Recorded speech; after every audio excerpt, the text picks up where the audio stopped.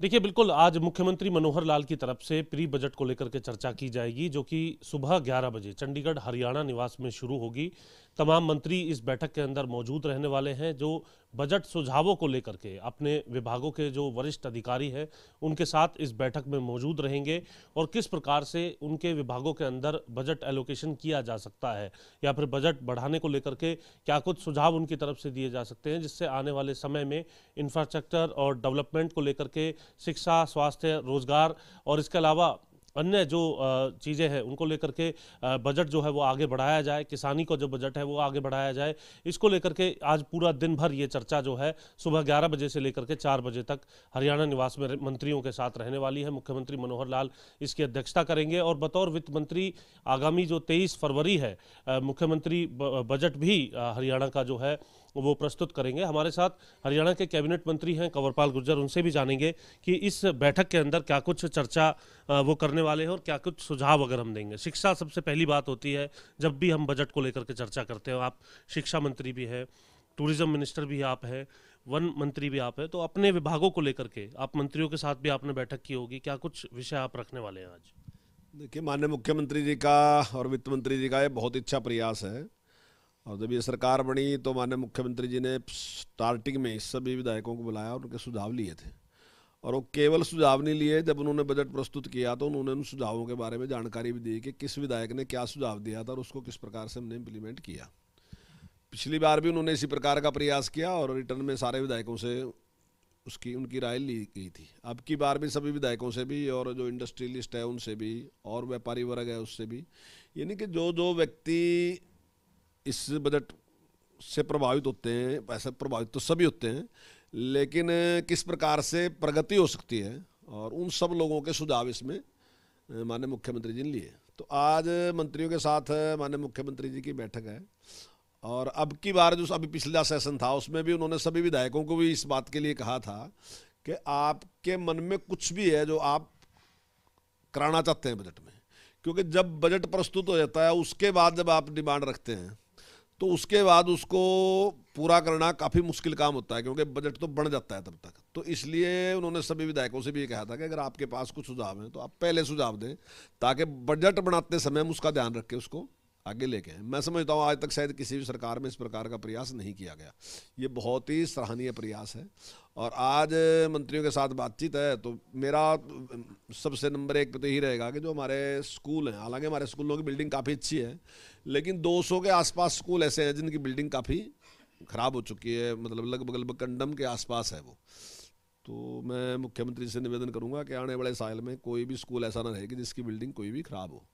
तो अगर वो पुरानी बिल्डिंग होगी तो उसकी जाँच करने के बाद और उनकी वो बिल्डिंग का एक आने वाले इस अगले साल में उसका नई बिल्डिंग वहाँ बन जाए, इसके लिए बात रखेंगे। दूसरा, हमारे, हमने एक शुरुआत की है कि भाई कोई भी अगर स्कूल है, अगर उसमें ड्यूल टैक्स की ज़रूरत है, सात चीज़ें उसमें हमने निश्चित की हैं।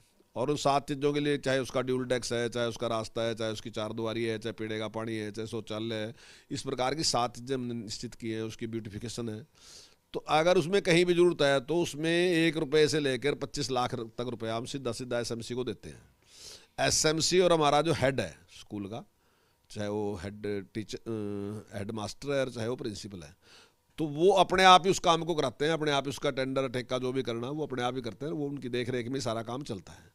तो अभी तक हमने उसका 26 ब्लॉक, पूरे हरियाणा के 26 ब्लॉक ड्यूल टैक्स के लिए और 22 ब्लॉक हमने सिविल वर्क के लिए हमने काम शुरू कर रखा।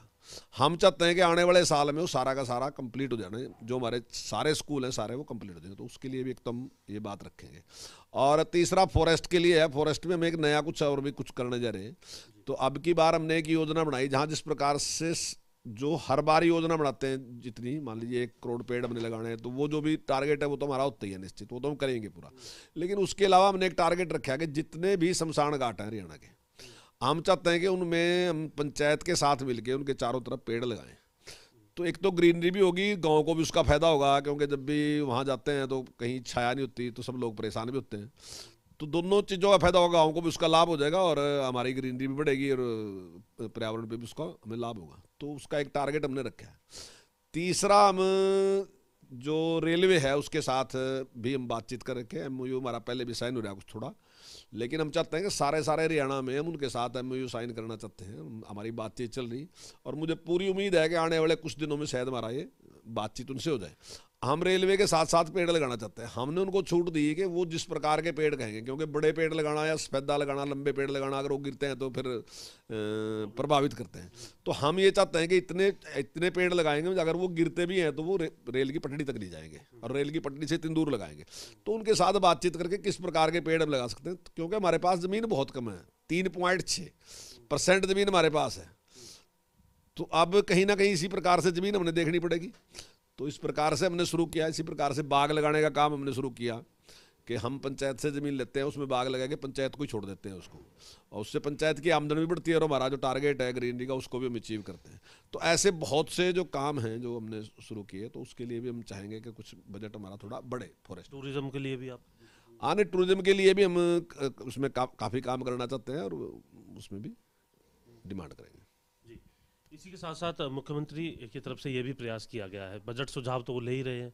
आठ कमेटियाँ भी बनाई जाएँगी। बीच में अवकाश भी दिया गया है ताकि सभी विधायक पूरे अध्ययन के साथ जो है वापस आए और फिर बजट पर एक विस्तृत और सार्थक चर्चा हो। देखिए, हर बार एक बात होती थी कि जैसे वित्त मंत्री ने बजट प्रस्तुत कर दिया और अगले दिन उसमें बहस शुरू हो जाती थी। तो ज़्यादातर जो मेंबर साहबान हैं, उनका एक, ये बात रहती थी कि देखिए, इतनी देर में हमने सारा बजट का अध्ययन नहीं किया। अब कल ही तो आपने बजट प्रस्तुत किया और तुरंत ही आपने इस पर बहस शुरू कर दी। तो माननीय मुख्यमंत्री जी ने ऐसा अनुभव किया कि सार्थक चर्चा उस पर हो। और ऐसा नहीं है कि केवल मुझे ही है, विपक्ष भी कोई बहुत अच्छा सुझाव दे सकता है। हम सब के सब प्रदेश के हित के लिए चुने गए हैं। तो अगर कोई इस प्रकार का अच्छा सुझाव होता है तो उसको इम्प्लीमेंट करेंगे, उसको लागू करेंगे। तो इसीलिए बीच में इतना टाइम दिया गया कि उसका बारीकी के साथ सबके सब अध्ययन कर लें, जो उसके विशेषज्ञ हैं वो पूरा अध्ययन करके आए। और अगर उनके पास कोई सुझाव है, उसमें परिवर्तन करने का, और कोई सुझाव अच्छा कुछ करने का है तो सुझाव दें तो सरकार करेगी। शुक्रिया बात करने के लिए। जी।